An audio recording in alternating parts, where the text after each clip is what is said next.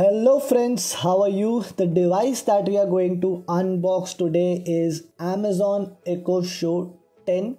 Now this is the third generation of Amazon Echo Show devices. So of course we are expecting a lot of improvements and upgrades.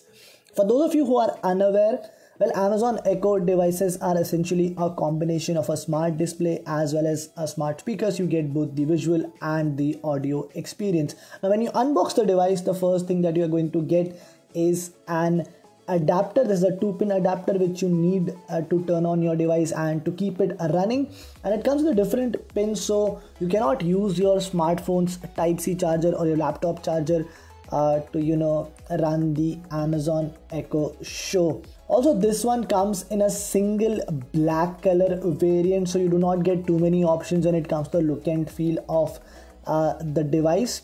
And inside the box that's pretty much what you get the adapter the device as well as a few paperwork which includes your introduction guide that takes you through the features and all the other information about amazon echo show also helps you set up your device.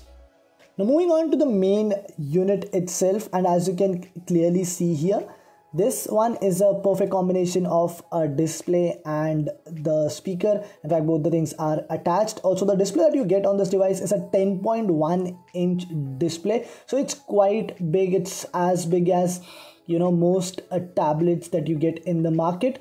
Also this one comes with a motion detect feature which means that if you are moving the display is capable to follow your face and move accordingly. And as you can see it's pretty the movement is pretty seamless as well. On top you get few buttons. These include uh, the volume buttons the power button. Also there's a microphone on top. So you can use these buttons to easily you know navigate and uh, control the volume levels of the speaker as well. Now this of course supports amazon alexa so you can give voice commands as well to control the device and you know make it work uh, or do things that you want it to do.